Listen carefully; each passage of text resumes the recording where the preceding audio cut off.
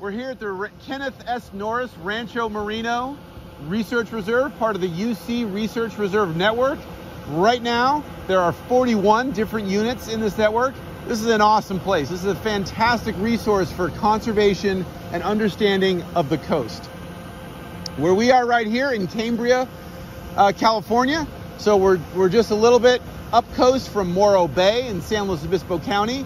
Fantastic representation. This particular reserve is about 500 acres, all kinds of fantastic stuff. It is uh, about two miles of coastline. It is um, all kinds of fantastic communities.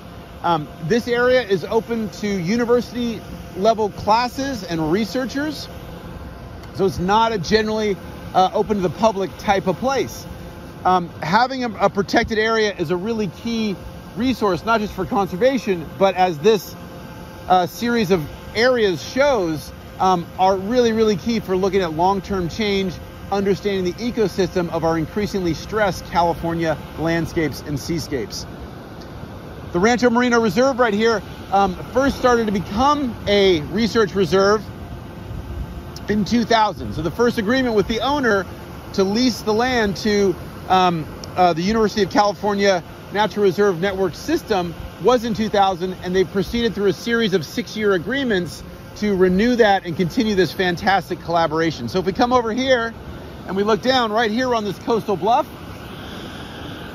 um, uh, representative of a lot of this part of the coast, not many sandy beaches, a lot of rocky intertidal, a lot of fantastic benches. Now, we're at relatively high tide here, um, right now, we're I don't I haven't checked, but I think it's about a plus four foot or so right now, plus four feet in terms of tide. Um, fantastic marine resources, kelps, beds, all that kind of fantastic stuff. Also, really nice if we had a low tide here, where these waves are breaking all this white water, you'd see tons of um, uh, uh tons of intertidal spaces, nooks, crannies, etc. Um, as we move inland, um, the uh, coastal bluffs turn into coastal prairie. So this area, um, very important uh, natural grassland, native dominated grassland, has had a history of different productions. So some of this was was grazing, some of it was tillage, some of it was tilled agriculture.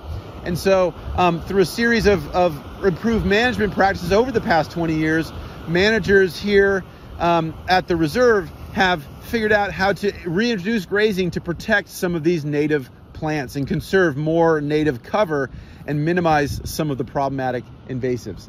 As we go farther inland, we get to the Monterey pine stand. This is one of only three native, remnant native stands of Monterey pine, pine forest uh, in the world. Uh, this species is cultivated around the world, so it's one of the most widely planted species. But as far as the natural distribution, native range, this is one of only three spots in the world where they remain. So we have fantastic forests here at Rancho Marino. We have fantastic grasslands. We have fantastic intertidal and marine resources. This is really a wonderful spot, and and and we're very blessed to have this as a resource for us here um, to use for classes, to use for research, and to use to interpret the story of California's natural history and California's changing landscapes.